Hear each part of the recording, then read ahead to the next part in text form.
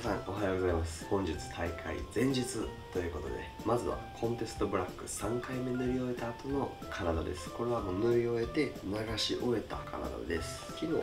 660から700近くカーブを取ったんですけど体重が減るという、まあ、よく聞くことなんですけど今日はもうちょっと入れていこうかなっていうふうに思ってます。で GH も下げようと思ってたんですけど GH を下げずにやっていきます。ちょっと今からまたコンテストブラック4回目塗って今日の夜5回目塗って終了という形にするので今からちょっと塗っていきたいと思います。はいタニング塗り終えて乾いて服着た状態です。あの乾かしながら栗せんべいも頬張ってたんですけど今から朝食のおはぎ食べていきます。昨日あのハプニングとか言ってたんですけど朗報です。あの僕の再生能力高くても治ってきました。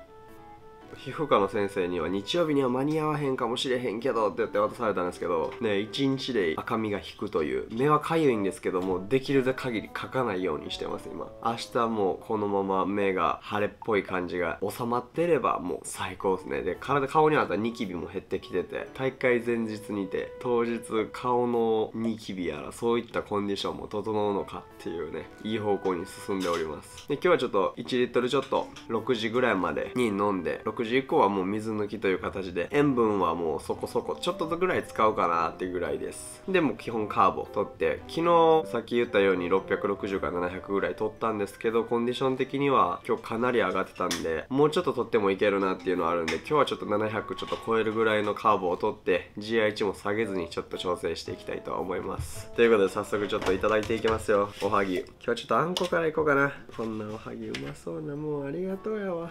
おはぎいただきます。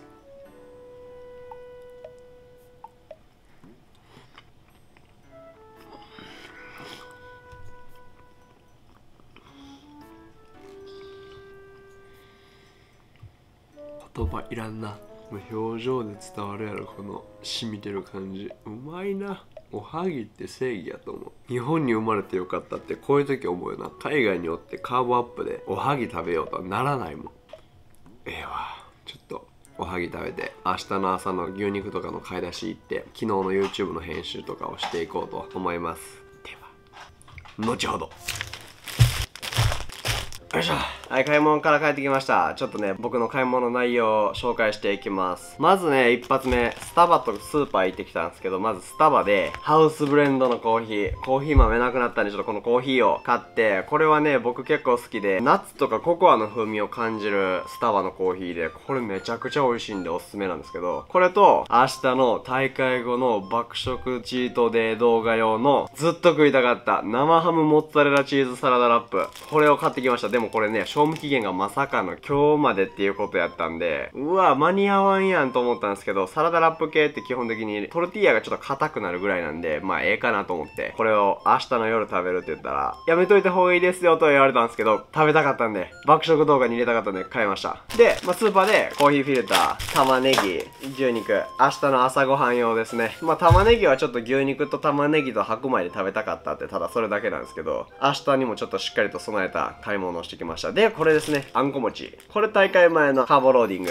にも使えると思ったんで、とりあえずこれを買いました。いやーもうついに明日やな。すごいメンタルが安定してるから、変な爆食スイッチが入らへんくて、すごいコントロールできてる。まあ今のコンディションとしても、昨日以上に全然食べれると思うから、気持ちも余裕やし、まあむくまないようにっていうのと、あと水抜き塩抜きでどれだけ思った以上にしんどくなるのか、ちょっとそういったところも分かればなと思います。で、朝もカラーリングして、今日夜セルフタンニング終わったらもうこれでタンニングが終了なので、まあ実際スプレータンニングで来た人たちと比べてどれだけ僕が色が劣ってるのかそれとも張り合えてるのかこれで張り合えてたら結構コスパめちゃめちゃいいのでおすすめすることになります。さあちょっと準備してコーヒー飲んでまた何か食べていきます。はいということで昨日の動画やっと編集終了して今からハブタイ餅食べます。いやハブタイ餅マジで久しぶり。これめちゃめちゃ食いたかった。たまたまルクアの下のマーケット行ったら売ってて今からちょっとこのハブタイ餅食っていきます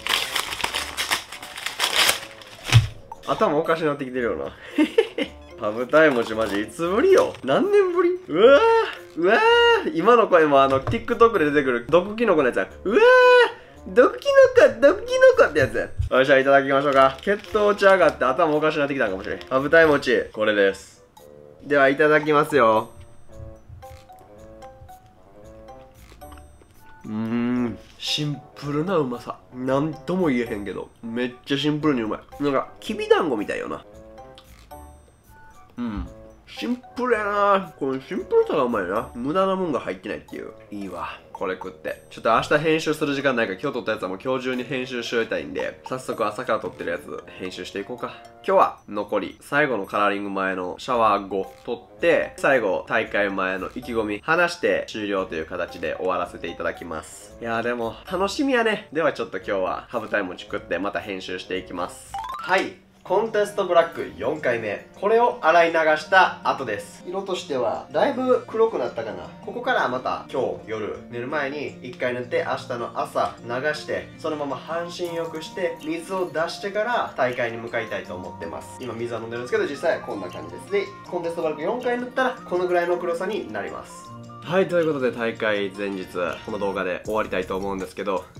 あとはカラーリングもするんですけど、あとお餅3つ食べて、さつまいも2つ食べて終わりですね。まあ実際若干今むくんでるのかなむくんでないのかな微妙なラインやなみたいな感じなんですけど、夕方でそれなんで、夜ちょっとさつまいもでむくみを少し抜いていけると思うのと、あとは水がなくなっていく。で、塩分が少し切れてきて、僕足が結構だるくなってくるっていう状態になってきたんで、あ、塩分抜けてきたな、水抜けてきたなっていう感じです。まあ大会前ということで去年僕は1点差で負けて7位やった大会なんですけど、まあ、今回はいろんな人にコンディションの面でも褒めてもらえたりいけるんちゃうっていう言葉を本気で言ってるのかわからないですけど去年より圧倒的に多かったっていうのがあるので、まあ、今年はちょっとその自分のコンディションにも期待してステージングにも期待して結果につながればなっていう風にすごく心から望んでます。実際どれだけ頑張っても1位になれない人はなれないですし1位になる人はなります。僕だけが頑張ってるわけじゃないんでもし勝てなかったとしてもそれ以上に頑張った人がいるんやなっていうところもあるのでその人を来年また努力で超えれるように頑張ればいいんじゃないかなって思います。まあ弱気にも聞こえるんですけど僕の気持ちはもう1位取りに行く気持ち満々でいるのでちょっと最後コンディションも気を緩めずにしっかりと調整して最高のステージにしていきたいと思ってます。今まで僕は YouTube で1位になりますっていう言葉を言ったことはないんですけど今回は気持ちでは1位になります。もうそのつもりで本気でぶつかっていこうと思ってるので皆さんぜひ応援をよろしくお願いいたします。では今日は YouTube 明日編集する時間とかもないんで YouTube を編集して完成させて明日に備えていきたいと思います。ではまた皆さん明日の本番でお会いしましょう。よかったらいいね。チャンネルの登録もよろしくお願いいたします。では See you next time.